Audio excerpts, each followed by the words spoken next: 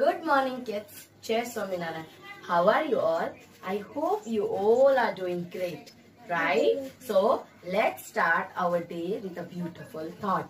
That is, train your mind to see great in every situation.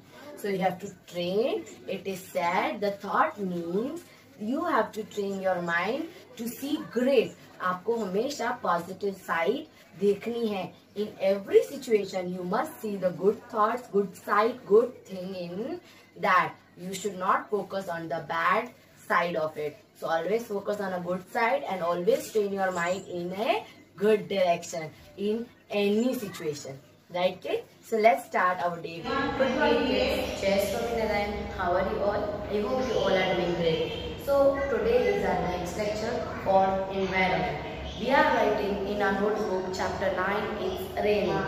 We have done with our hard words, true or false. Today we are going to write our answer the following question. In online class we have done in question number 1 to 8. So we are going to continue till chapter from question 9. Let's see that. Question 9. With where with what the earth's surface is most covered. So it is mostly covered with water. Number 10. What shape does water has? So water का क्या shape होता है? It has no fixed shape or we can call it as indefinite shape. Which is the natural source of pure water? Pure water का natural source क्या है? Rain water. It is the rain. Number 12. Which is the largest source of water? So the largest source of water is ocean. Here it is not asked the salty water or the water which we can drink. Only it is asked the largest source. So we can write ocean. Which bird likes to dance in rain? So whose the rainy season is the favorite? It is of. Why was the banana trees were drooping? Because it had not rained for long time. It had not rained for long time. Right? There are more questions. Let's see.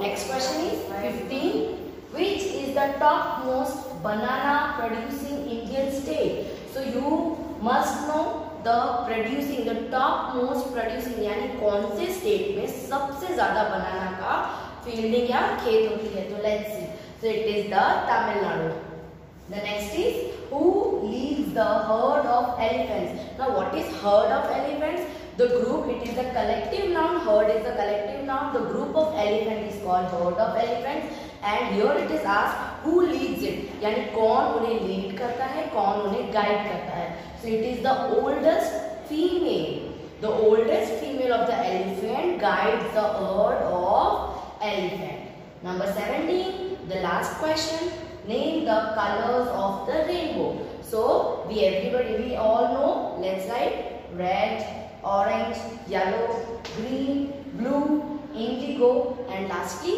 violet. So in this chapter we have seen hard words then true or false and then question and answers. This is the last part. From now onwards then in your video class or in your online class we will start our revision for FA2. So the book checking is also, the date is also coming nearby. Make sure your books, all books are your complete with all proper date, heading with neat and clear handwriting.